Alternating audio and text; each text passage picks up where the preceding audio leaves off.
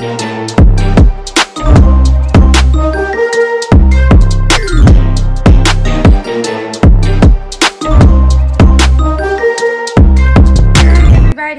Quick before we get started. Please like this video and go subscribe to my youtube channel. Thank you. Today i'm going to be telling you guys how to lift weights properly people. And we've all been to the gym and seen that one guy that always bites off more than he can chew. Well guess what?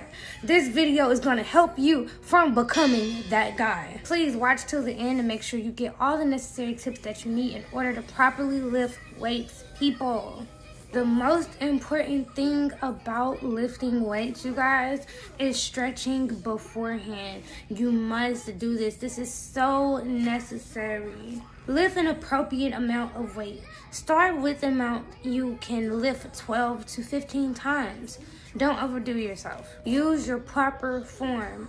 If you are lifting and you are using your back, you will pull something. You must Lift with your knees. Lift with your knees. Lift with your knees. Lift with your knees.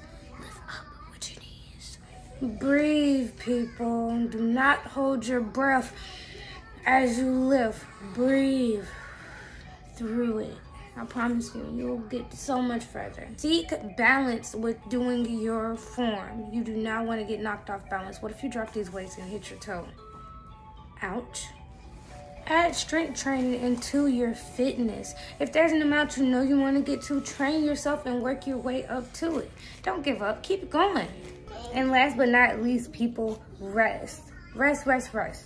30 seconds, drink of water, rest. Do not overdo it. Even if you feel like you got it, please take a break and pace yourself.